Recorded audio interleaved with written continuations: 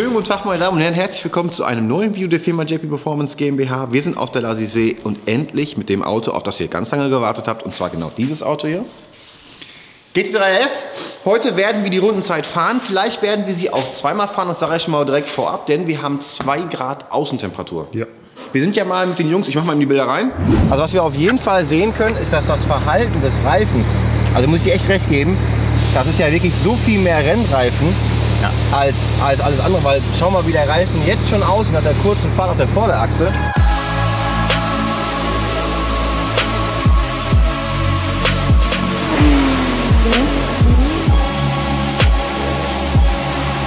Genau.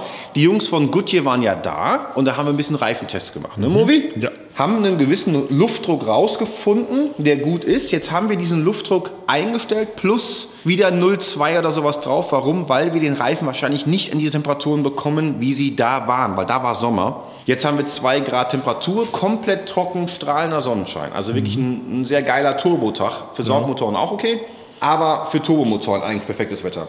Die Reifen sind gerade frisch angefahren, das heißt, sie sind vom Profil her gut, weil äh, der Grund, warum ich so viel erkläre, ist, ich will eigentlich hiermit einen neuen Rekord fahren heute bei den Temperaturen.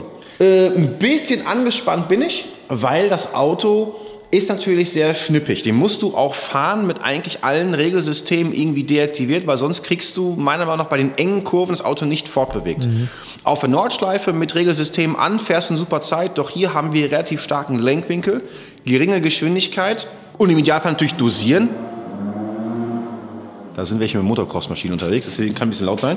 Ähm, und dort kann dann hier und da der Traktionsverlust da sein. Wenn der Traktionsverlust passiert bei den 21 Zoll auf der Hinterachse, dann ist halt die, die Runde im Arsch. Also das muss so krass sitzen jetzt, was wir jetzt machen. Und ich werde wahrscheinlich relativ wenig reden, weil das doch wirklich, also es muss einfach wirklich passen.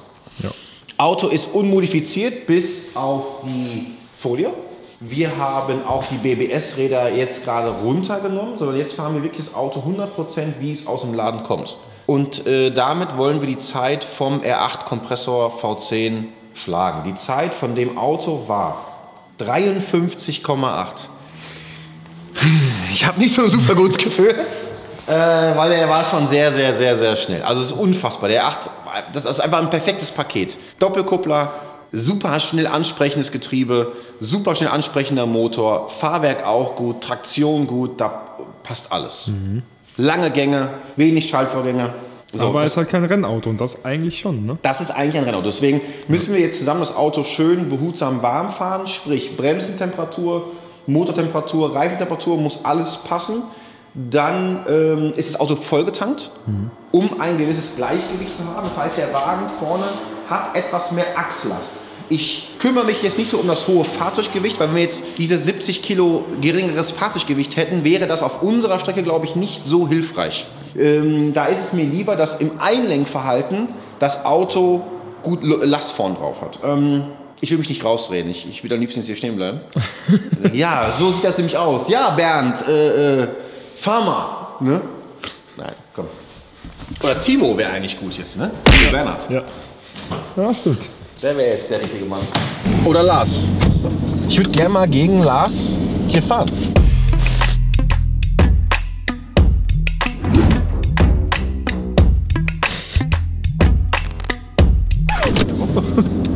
Ja, mach doch. um zu wissen, wo der Unterschied ist. Glaubst du, es ist viel Unterschied auf der Strecke? Ja, was viel ist halt relativ, ne?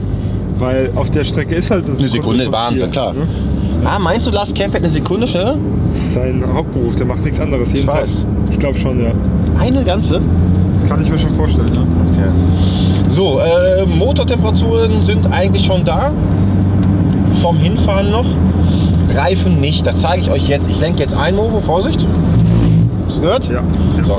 Dieses Geräusch bedeutet, ich habe jetzt gelenkt, aber der Reifen hat keinerlei Anstalten gemacht, diese Seitenführungskräfte zu übermitteln, dass das Auto jetzt nach rechts fährt. Ja, wie man merkt, wir fahren halt wie ein richtiges Rennauto. Das heißt, es dauert jetzt ein bisschen, bis wir das Auto warm kriegen. Den Reifen vor allen Dingen. Weil das Geräusch darf gleich eigentlich nicht mehr wirklich stattfinden.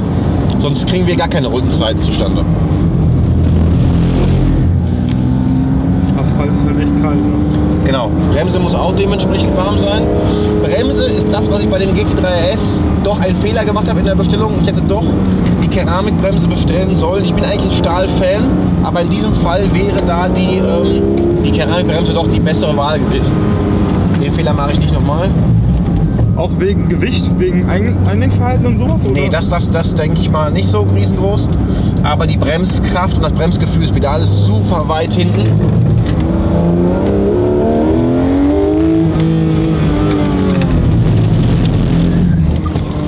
Scheiße, scheiße, scheiße. Leute, das wird eine lustige Fahrt. Wir müssen jetzt ein bisschen driften, um ein bisschen Leben ins Auto zu holen. Vor allem zumindest mal auf die Hinterachse. Wenn ich die Hinterachse nämlich habe, dann kann ich auch angasen, dann kriege ich die Vorderachse auch warm.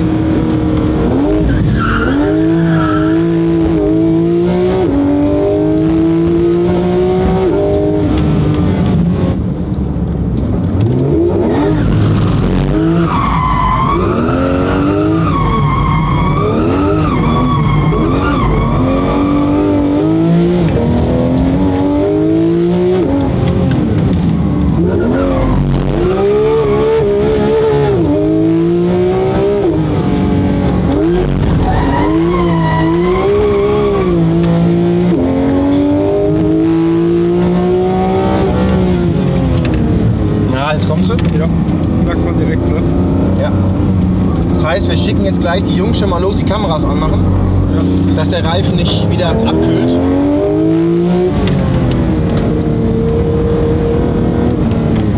Wahnsinn, ne? wie der Reifen auf einmal anfängt zu leben. Das hängt ganz klar von mir ab. Das Auto kann das. Auto kann das. Was sagst du? Ich glaube, er schafft's. Ja? No Ja, front. Ja? Ich will den Druck nicht erhöhen, aber ich glaube, er schafft's. Ich glaube, das wird schon. Raus, Lass das Auto heile und dich auch. raus.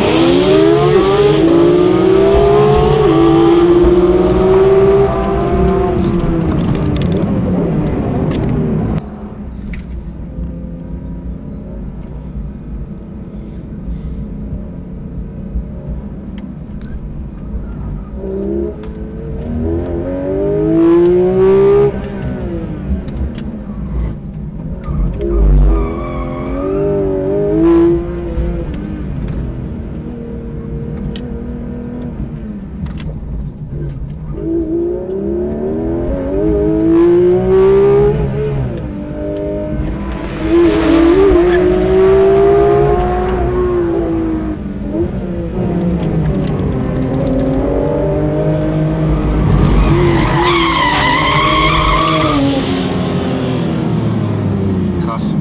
Erste Runde 53 Sekunden glatt. Ach du Scheiße. Das ist schon Besser, glaube ich, ne? ja, 0,8 schon besser. ist das krass? Alter. Ist das krass? Ich mache aber noch einen drauf. Ja, ja, mach.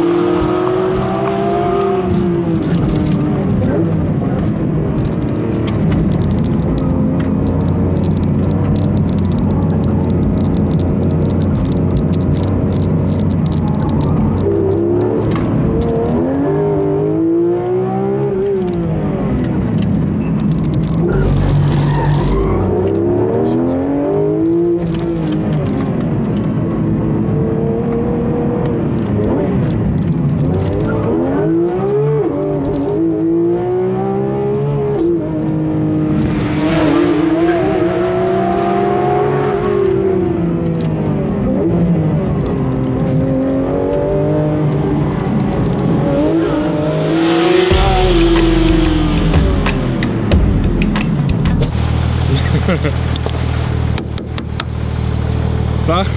52 glatt. Geil. 52, 52 Sekunden fährt ein GT3 RS auf der Lasisee.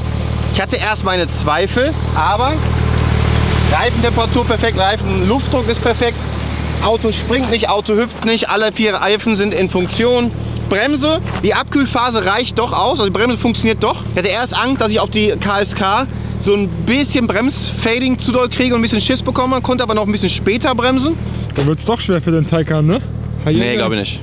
Nein, denkst du, er schafft's? Ja, Denkst du, ja. Es gibt ein Auto, das unter 50 schafft? GT2 S? Ja, Ja? ja, ja. GT2 jetzt holt ja hier schon mal eine.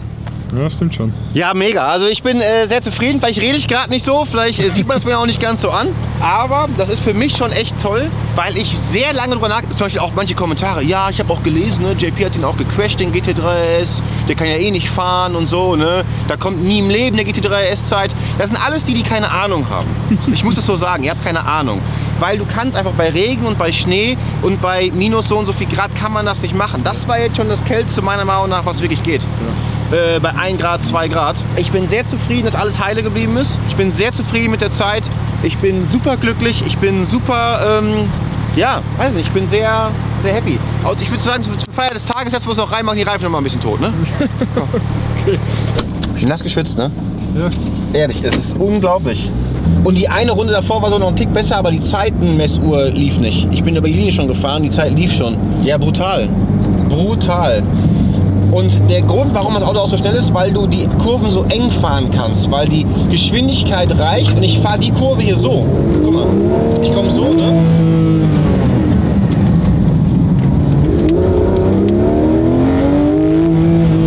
Weißt du? Du kannst das so eng fahren. Gut hier, vielen Dank nochmal für den äh, brutalen Reifen.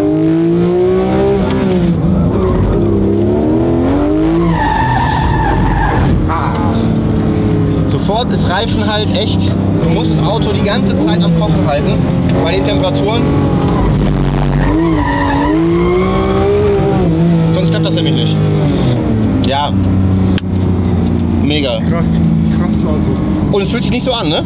Nee, das fühlt sich nicht schnell an. Bei der ersten Runde, dann gucke ich drauf und sehe 53 glatt und denke mir so, hä?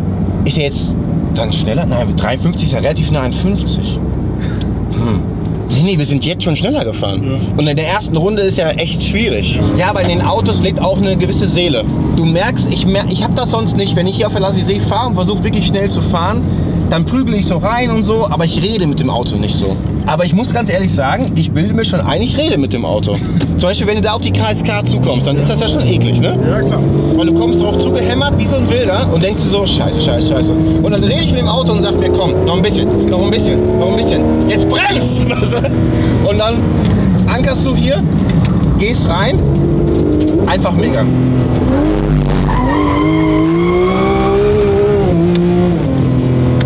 Wir haben einen neuen Rundenrekord auf der Lassisee. Du hast recht, Novo. Das ist natürlich für die jetzt folgenden Autos alle sehr, sehr, sehr schwierig. Ja, aber früher oder später kommt ein Auto, dass das knacken wird. Ich glaube ja, dass der Taycan das schon ruppen wird. Ja, das kann schon sein, ja. Das äh, sehr nah, glaube ich, ist er auf jeden Fall. Sehr nah. Ja, fantastisch. Ähm, guter Tag. Guter Tag. Können wir was machen? Nein, ne? Ins Büro springen. Stimmt. Wir müssen Kubik noch erzählen, was passiert ist. Kubik! Herr Krämer. Also, wir haben einen neuen Rundenrekord auf der Lassisee von sage und schreibe.